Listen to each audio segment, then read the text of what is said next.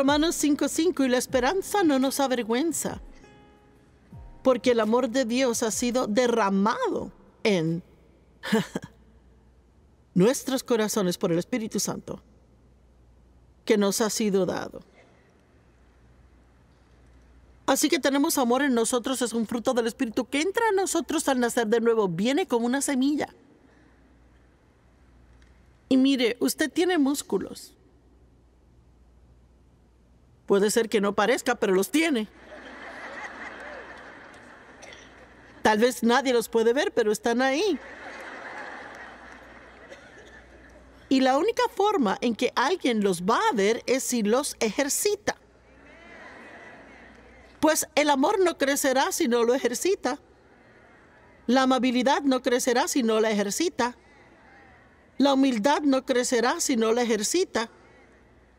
Así que cuanto más hagamos lo que Dios nos pide que hagamos, ¿verdad? La Biblia dice el conocimiento envanece. Yo sé que usted puede abrir esa Biblia y si es como yo tiene cosas subrayadas, pero no significa que sepamos algo.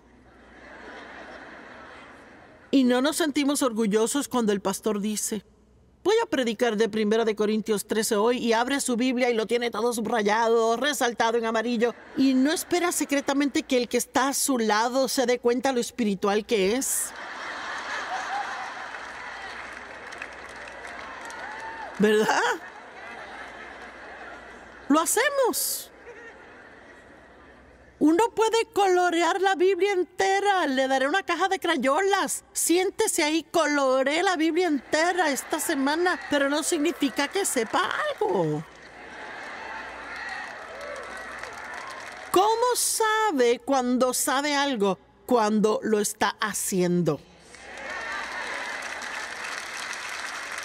Solo cuando lo está haciendo. Yo conozco el poder del perdón cuando lo estoy haciendo. Yo veo el poder de la oración cuando yo oro por cosas en lugar de preocuparme por ellas. Yo veo el poder de ofrendar cuando ofrendo. Josué 1.8, mucho antes en el comienzo del Antiguo Testamento. Dice, medita en la palabra de Dios día y noche para que puedas observar y poner en práctica todo lo que está escrito en ella. Entonces actuarás sabiamente, harás tu camino próspero y tendrás éxito.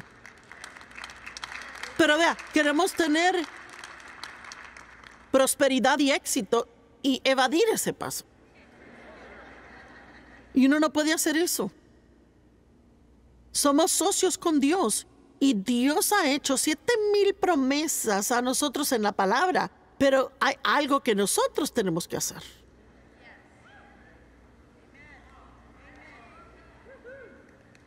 Y me maravilla el hecho de que cuando Jesús fue a resucitar a Lázaro de entre los muertos, le dijo a la gente que removieran la piedra. Ahora, déjeme le pregunto si está a punto de resucitar un muerto.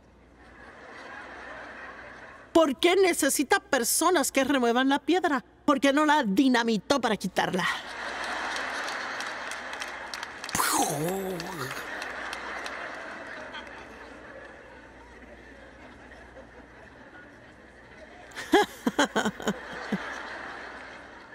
Porque ellos tuvieron que usar su fe. Dios solo se mueve a través de nuestra fe. El diablo se mueve a través del temor y Dios a través de la fe. Y la fe es una fuerza en nuestro interior, pero debe ser activada. Y la forma en que la activamos es a través de la oración, declaración y acción. Cuando digo confío en Dios, estoy desatando mi fe.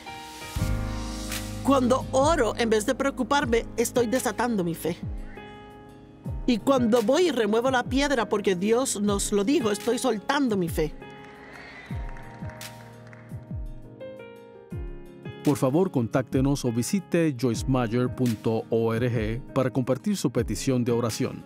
Únase a nosotros en compartir a Cristo y amar a la gente en el mundo entero.